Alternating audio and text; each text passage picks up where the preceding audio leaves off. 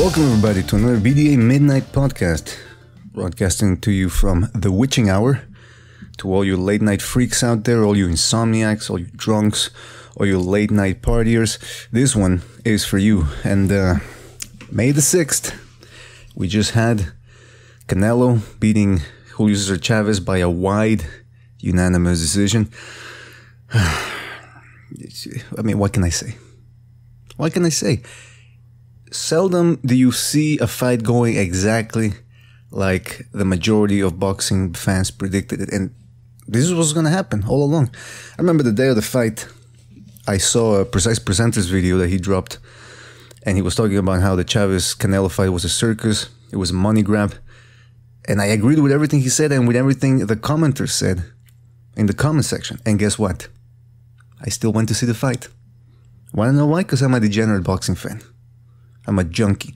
Even if I know the outcome is gonna be boring, bad, a waste of money and a waste of time, I still I'm still gonna go see it because that's just what I am. I've, I've made my peace with that.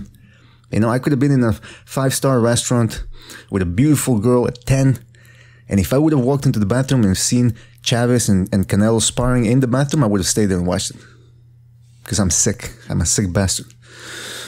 Well, let's get this out of the way first, all right, guys. Let's get Julio Cesar Chavez Jr. out of the way both in terms of in the podcast and in the boxing world in general. Julio Chavez Jr. came in in shape. Wow, everybody started clapping and, and, and clamoring and, you know, giving him props. Oh, he came in weight. He didn't look drained. Wow. And then he showed up and he did exactly what he'd been doing in his career. He doesn't give it his all. Now, look, I always try to give boxers the benefit of the doubt. They're hard men. It takes balls to step into the ring. And, and it's not easy putting pressure on a guy like Canelo who's so precise. And yes, he does hit hard. I know people out there are saying that Canelo doesn't hit hard. We'll get to that later. On the other hand, from what I read, Chavez is getting paid, or he got paid about $3 million. I have to assume that he's also getting money from the Mexican TV stations, a cut of it too. So he's getting paid handsomely for his service, or should I say this service, and he didn't even try. Don't tell me, oh, but in the sixth round or eighth round, he, he tried to throw a combination. He didn't try. He went into survival mode from the fifth round on, and he was lucky that Canelo is not a pressure fighter and that he couldn't take him out. Actually, it should have been better if, if Canelo would have taken him out. Would have been a service to all, all of us here. Because this fight, let me tell you something. I mean, ugh. So Chavez Jr., I know it's hard getting in the ring, guys. I know, I mean, we gotta give these guys their props. But when you're getting paid this type of money, and you know, we're not millionaires. Boxing fans, we're not millionaires. We're dropping $50 on a pay per view or 100 and more on a ticket, you expect to get some kind of show. And Chavez showed us that nah. This was his chance, by the way. This was Chavez's chance to, hey, first of all, his last chance at gaining some respect. He shouldn't even have gotten this chance. If you think about it, who did he beat since from far? He beat Marco Reyes, who's a tough guy with a punching bag. He's like a he's like a Chavez light. He's got big balls. I respect that. But in terms, if you want really want to talk objectively about levels, he didn't deserve to be in there and Chavez couldn't take him out either. Okay, he's a tough guy. He beat that right, right. And then he beat uh, uh, the German guy, Screech. I don't even know how to say his name. I'm not even gonna bother to look it up because that's how angry I am about this, about what I just saw, what I just witnessed, what just transpired, this abomination, this abortion, and uh, so yeah. So why did Chavez? How did he earn this chance? And we all fell for it. I fell for it, despite knowing every that this fight was not gonna. It was like a, it was like Mayweather Pacquiao all over again you know what's gonna happen, but part of inside says, ah, maybe if he does this, maybe he does that. Nah, not gonna happen. And it didn't happen this time either. And uh, you know what? I got no, nobody to blame but myself. Free will and all that shit. Um, so Chavez Jr., I don't know how he earned this chance. I don't know why people were expecting a war. Actually, yes, I was expecting a war myself. I thought he was going to put pressure on. And then, after getting countered for a couple of rounds, I expected him to go into survival mode, just like he did with Martinez before Chavez was able to rally down the stretch in the last round. But in this fight, there was no pressure at all. From the get go, he tasted Canelo's best shots and he said, Whoops, time to go, time to earn my paycheck by just trying to survive. So Chavez Jr., you know, good for you. You got your money. Goodbye. We don't want to see you again. I have a feeling, however, that if he gets three more performances in Mexico, he might be in line to face another guy. Because you know that's how boxing works. Zab Judah, seven lives, right? How many guys did he lose against? And he still, you still see his name being propped up. He, he might even take on Keith Thurman one of these days. You never know. That's how boxing works, man. You got a name, you're marketable, win a couple of fights, and people forget what happened. So let's get that. Well, now we got we got that out of the way. It just goes to show you how bad a fight it was. That people are talking about Golovkin, Chav, uh, Golovkin Canelo, the announcement more than the fight that we just saw yesterday. Am I excited about Canelo Golovkin? Of course I am. Even though the, the, the bad taste that's left in my mouth from yesterday is sort of clouding my judgment a little bit here, my outlook. I got a little bit of a negative outlook right now. I'm thinking, what if the fight doesn't happen? What if it's a, like, like a stupid catchweight? What if this? What if that? What if the ring is a huge ring? I mean, I don't know. But let's look at it from the positive side, right? If the fight does happen on September 16, right on the money, if it does happen, I expect a good fight. I want to talk about Canelo's power. I've been scouring the internet, reading all sorts of messages and message boards and, and, and, comment sections from all types of boxing sites because I want to get my finger on the pulse of the boxing world. And what people are saying constantly is that Canelo doesn't punch hard. And they say, well, he couldn't get Chavez out of there. That means he doesn't punch hard. First of all, the fact that Chavez went into survival mode from around the fourth, fifth round on should tell you how hard Canelo hits. Yeah, he doesn't hit as hard as Golovkin. I don't know if anybody does, even even Kovalev. But Canelo, trust me, he's got booming shots. And uh, if Golovkin goes in there thinking he can just walk through Chavez uh, to Canelo, which I don't think he does, he has sparred Canelo. Golovkin's a very smart fighter. He's not just a power puncher. He knows how hard Canelo can hit. He knows that it's going to be a waiting game as well. It's going to have to be an intelligent boxing match. He's not just going to go in there and try to slug it out. He's not. But to say that Canelo can't hurt him, yeah, you might be surprised once you see the fight happen. Because Canelo hits not as hard, like I said, but pretty fucking hard. And I had to add the F word in there just to add a little emphasis, you know? That's how I do it here. But he does hit pretty hard. One thing that does worries me, worry me as a, as a Golovkin fan if I were a huge Golovkin fan, and if I were betting money on him, because I'm thinking I never bet guys, but I'm thinking maybe I should bet on Golovkin here if if, if his bat his his uh, human performance against Jacobs sort of lowers the odds a little bit. The thing that worries me for Golovkin is the body shots. I wasn't 100% sure about it. If you if you watch the film analysis that we did for the Golovkin Jacobs fight, I said that Golovkin doesn't like the body shots. I know nobody does, and nobody likes body shots, but he has a peculiar way of reacting to it, like a very visible. It's quite visible that he doesn't enjoy them. And against Jacobs, it was pretty apparent he was very worried about those body shots. And I gotta tell you, as hard a puncher as Jacobs is, and as big a guy as he is, or was when he went into the ring against Golovkin, Canelo hits much better to the body. He's got better technique. And those type of shots could deplete Golovkin. On the other hand, Flip side to that coin is that Golovkin hits harder than Canelo, both to the head, and I would argue maybe to the body as well. Golovkin puts incredible pressure. He's not as active as he could have been back in the day, three years ago, maybe four years ago. He slowed down a tad, but he still got that power. He still has that technique. He still has that positioning. He's able to position himself in a way that where he can launch his offense to the maximum of its efficiency, to maximum effect. And I gotta tell you something else too. If Golovkin would have been in there against against Chavez last night, he would have stopped Chavez. Not because necessarily just because of the power, that the fact that he hits harder than Canelo, but also the way he positions his shots. He would have gotten inside much more than Canelo. He would have cut off the ring much better, and he would have landed murderous uppercuts. I have a feeling he would have stopped Chavez last night. Also, the other thing that should play a factor in a Canelo Golovkin fight, and we'll talk more about that once the fight nears. It's still a long way to go from from now. But one thing that you're gonna have to watch out for is that Golovkin jab. Whew, that's a strong jab. That won him the fight against Jacobs. It's a nice, crisp jab. It's almost like a power punch. It's it's it's effective. It's it's precise. It comes out of nowhere it's gonna bust up Canelo's face some, let me tell you. And if I'm a Canelo fan, and I am, I'm worried about whether he can actually handle Golovkin's power. Because if he just stays with the earmuffs, it's gonna be effective for a while. But the more you stand in front of a guy with those earmuffs on, the more those some shots are gonna get through. And uh, if the fight's at 160, actually, that's the other thing. I'd rather have the fight at a higher weight. Make it a, like a, you know, 165 or something. Don't dehydrate these guys. I know we want to see it for the fucking for the middleweight title of the world, the linear light uh, middleweight title of the world, right? We want to see it for the middleweight championship. There's a rich history behind the middleweight division, perhaps the most accomplished or prestigious division in boxing. I know some people would say it's the heavyweights, but is it really in terms of exciting matchups? The middleweights have produced more exciting, interesting matchups between elite fighters since boxing uh, adopted its modern form. So that is then. A big fight was announced in September. Let's not talk too much about it though, because we might jinx it. I hope not. Knock on wood. That's me knocking on wood.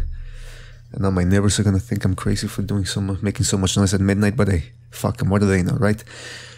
Now, what else happened on the undercard? We had David Lemieux taking on Marcos Reyes. Lemieux, wow, power puncher, man might just be the most dangerous guy in the middleweight division punching wise, just for pure punching power. And he's gonna beat a lot of guys. If you can't avoid his power punches and you can't handle his intensity, he's just gonna run through you or outwork you. Not a lot of guys are gonna be able to survive the way Reyes did. On the other hand, what I don't like about Lemieux is that those baby deer legs, as I call them, his footwork. He's always on the toe, on his toes. Both feet are on. He's on his toes. He's always on the tip of his feet, and he's off balance after he. If he misses, he's off balance. It's amazing to see a guy who, with such awkward footwork, be able to generate so much power. He's a, he's a, he's a strange dude, Lemieux. And I like Lemieux because he's always coming to fight. Anytime Lemieux fights, I'm gonna watch him. He's just the type of guy he is, man. Action all the way through. But if there was a winner yesterday other than Canelo and Golovkin, because now that, that their fight is made, the other winner is Lemieux. Because he's not going to be fighting any of those guys anytime soon. And that's good because Golovkin, you know, Lemieux has been in the press saying that he he's he found the right way now. He knows how to beat Golovkin. No, you don't. Sorry, you don't. He he he showed against Reyes. He couldn't take him out. He took some shots. He was still vulnerable to the jab. And like I said before, Golovkin's got a hell of a jab. It would be a repeat of, of the first fight. Canelo, on the other hand, would be more hittable. He, I've never seen him actually win a fight just on his jab alone, but uh, he would pick Lemieux apart. And it would be an exciting fight, don't get me wrong, but I don't, I don't see Lemieux uh, beating him. Now, of course, it's up to Lemieux to prove us wrong. This is boxing after all. Nobody's always right with the predictions, but that fight's not going to happen anytime soon. So where does Lemieux go from here? I don't know. You know, he's got Danny Jacobs in there. That could be a good fight maybe Kur- uh, who just uh, beat Tommy Langford in England. That would be a good fight too. Two blocks, of stone power punches up the wazoo. That would be a great fight. But Lemieux, always entertaining. Props to him. Good fight against a tough, tough, tough opponent last night. I don't know if the guy was on drugs or something. I've never seen somebody I remember I heard a story once about a guy who was on PCP, and no matter what you hit him with, kick him in the balls, in the fucking orbital bone, the guy would not go down. And that's how it reminded Marcos Reyes reminded me a little bit of that of that story. Also on the undercard, we had the return of the machine, Lucas Matthysse, and man, he beat up Emmanuel Taylor, something awful. Taylor's a tough guy. He's gone. He's proven that he can hang in there with good guys like Algieri, Broner, or Orozco. But this fight, whew, Matthysse proved that the power is the last thing to go. And maybe that, that one year rest did him some good. A little chance to recoup both mentally and physically. And now he's back. A 147 though, I don't I don't know guys. What do you think? Do you think he can be competitive in that division? I, I don't see him first of all he's with Golden Boy, so I don't know how many fights could be made with the PBC. Although there are rumors that I think I heard I read an article that Steve Kim tweeted he linked it to his, to his Twitter about some uh, journalist saying that rumors that Haymon and De La Hoya, I don't know if he was kidding or not though. Maybe I shouldn't be saying this at all. But anyway, let's say that the, the, the fights can be made. Let's go, let's go all out boxing utopia where every fight can be made and there are no political borders to cross. Matthysse, I don't, he doesn't beat Thurman might be competitive because he's a good fighter and he does hit hard and he, he, he does have some technique, but but Thurman just too mobile and too fast for him. I think he beats him. Danny Garcia now this fight, Danny Garcia looked he looked sharp against Thurman. It was a high level fight, very fast paced. I don't know if, if, if Matthysse can can keep up with that type of pace. Sean Porter though, now that would be an interesting fight because Sean Porter comes forward. He's not gonna hide, I don't think, from Matthysse. Although uh, Porter has good footwork, so he might pull, turn the tables on us and try to show us that he could box uh, Matthysse. Timothy Bradley would be a good fight. Also, easier to make if, if we do include the political borders in this fight or in this boxing world. He's with Top Rank. Top Rank has shown that they are willing to work with Golden Boy recently, so maybe that's an easier fight to make. Of course, Matthysse against maybe Robert Guerrero, right? Just uh, as, a, as a fight. I don't know. That would be an interesting fight. But Porter Matthysse is one that I would want to see. But again, I don't know how how how Matthysse is going to be able to perform at 147, especially now at 34 years old. Time is not on his side. He's gonna move. He's gonna make his move now. He's gonna make his mark and enforce it, like Tony Montana said. And uh, but good from it's good to see. It was good to see the machine back. He's an entertaining fighter to watch. He throws combinations. He's willing to go in for the kill, just like Lemieux, and so good for him. Also on the undercard we had Joseph Jojo Diaz taking a unanimous decision, and I'm just gonna forgot the his opponent's name. I'm gonna uh, look it up to. Uh, show him some respect. Because let me tell you something about Jojo Diaz while I'm looking the name up. Let's talk about Jojo Diaz. He is a very, very, very talented fighter, man. He's got an amateur pedigree, he's got technique, and he just beat last night Manuel Avila, that's his name, his opponent, Manuel Avila, 22 0. Avila, apparently, from what I heard from the commentators, he'd been looking for big fights, he wasn't getting any respect, or as much uh, uh, respect, I should say, as Jojo, uh, Joseph Diaz.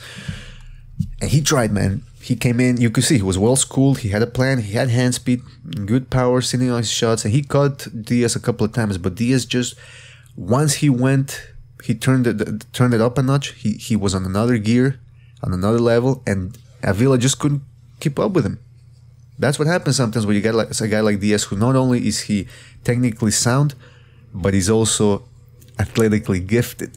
The way he can get in and out, his reflexes, his speed. I mean, gonna be a very hard guy to fight. I would love to see Joseph Diaz now up against Miguel Marriaga.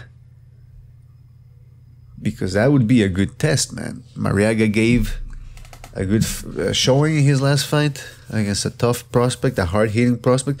Diaz doesn't quite hit as hard. But uh, it's it's it's it would be a good test to see if he can outbox somebody. Now the thing about that worries me about uh, about Diaz is he's five foot five. He's listed as five foot five, which means he's actually five foot four. Because usually what people in TV in the TV business do is they like to prop up or, or exaggerate somebody's measurements. I remember in the UFC they listed uh, Shane Carwin, who was a big power puncher, at six foot five. The guy was actually six foot three or in, or in WWFE, whatever you want to call it. I remember they used to say the Undertaker was six foot nine or seven feet tall or something. He's actually more like what six foot five, six foot six maybe. So they exaggerate. So Joseph Diaz, right now at featherweight, he's five foot four, five foot five. I don't know how good he would be able to, to do to compete at uh, higher weights. Now, when you're a guy like him who's as fast and as technically sound, you don't have to be smaller. I mean, high, uh, the same height as other guys to outbox him. We have we've had plenty of examples before of, of, of smaller guys outboxing taller guys. Terence Crawford, Postol, for example. Postol was taller. That doesn't mean, but if you know what to do and if you got hand speed, you can outbox taller guys. But um, the fight that everybody wants to see maybe would be Oscar Valdez against Joseph Diaz. I don't think that fight's gonna happen. Not anytime soon. Anyway, both guys have too much to lose and with, with big things in the horizon. So that fight's not going to happen. You got Carl Frampton in there. You got Scott Quigg, who is the dark horse of the division. People have forgotten about him, but he's a good guy, good solid power puncher, and a body puncher to boot, which I love. You guys know that I love body punchers. But yeah, man, that's about it for this BDA Midnight podcast. Uh, fuck, man, that Chavez fight though. I still feel like I want to say something about it just to get it off my shoulders, man. I feel like I got a ghost on my shoulders, like that movie, Japanese movie. I forget the name, where a guy's got a ghost on his back because he cheated the ghost back when the ghost was alive or something. I don't know. I'm not Roger Ebert, as you can see, but I mean, this is Chavez Jr., man. Ugh, Canelo. But hey, Canelo Golovkin, right? Now, as I prepare to log off and go to sleep, I want to, I want you guys to tell me what you would want to see. What videos would you want me to do? I'm the guy, like like I told you, King Bucho. He he he likes to do more of a commentary. He takes the Twitter page. He makes uh, commentary videos on, on the YouTube page. I focus, try to focus more on the BDA Midnight podcast and on the film analysis. So right now we don't have, other than Kovalev, uh, Kovalev Ward, the rematch, which we, if, if there's enough demand, we will do a, film analysis on that. But other than that, there's not a lot of big, big, big, huge mega fights in the summer left. So I don't know if we're still going to be making any film analysis. But I do enjoy making the BDA Vault film analysis. So that's when we dip into the BDA Vault, into the archives of classic fights or just interesting fights, fights that we find interesting. We like to dissect them and, and, and or just show you certain aspects of that fight or of a certain fighter, for example, footwork, hand speed, power. So if you guys want to see something in particular, just let us know and we'll do our best to provide a video like that. I was thinking of doing a video on the Charlo brothers because I think these guys they're starting to convince me that they are the real deal, and I want to make a video on the Charlo brothers about how good they are, or how good they really are, and how far they might go. So guys, keep us informed, man. We'll listen here at the BDA. We want to see what you guys have to say.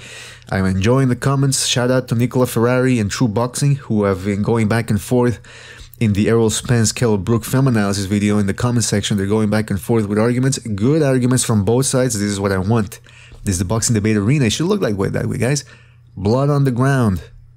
Right? We're here to entertain. We're here to discuss. We're here to create controversy. We want to say things that are controversial. And why are they controversial? Because they might just be true and people don't want to hear those type of things. Sometimes the truth stinks and people don't want to hear it the medicine tastes bad, but guess what? When, once you take that medicine, once you take that pill, you feel much better afterwards. So, guys, there was a BDA film. I mean, film analysis. Jesus Christ, I'm so used to saying that. It was a BDA Midnight podcast. I hope you guys enjoyed it, and we will see you on the next one.